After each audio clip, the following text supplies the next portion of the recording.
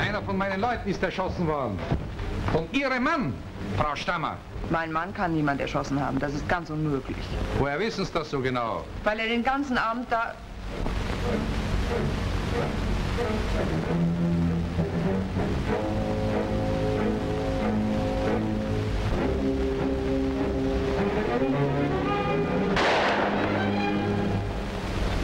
wollte der Rotbichler bei dir? Ach so, der Rotbichler. Der hat mir nur erzählen wollen, dass du der neue Zwangsverwalter für die kassierten Höfe geworden bist. Du wirst noch so lang machen, Stammer, bis ich deinen Hof krieg. Mach dir keine Sorgen. Meinen Hof kriegst du nicht. Und mich auch nicht.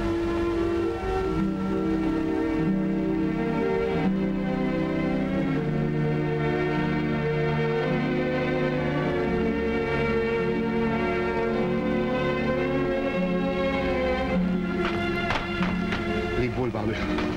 Grüß mir die Mutter. Ich gebe die Nachricht, sobald ich kann. Grüß dich. Martin! Bitte nicht bleiben. Bleib, nur eine Minute, nur eine einzige. Barbe, ich komme ja wieder.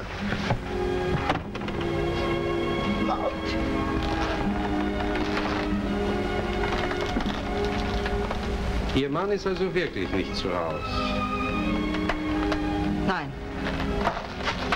Du mach keine Umstände. Bei dem Mann erwische ich doch noch und dann kommt es nur auf mich an, ob er hängt oder nicht. lassen Sie mich los! Lassen Sie mich los!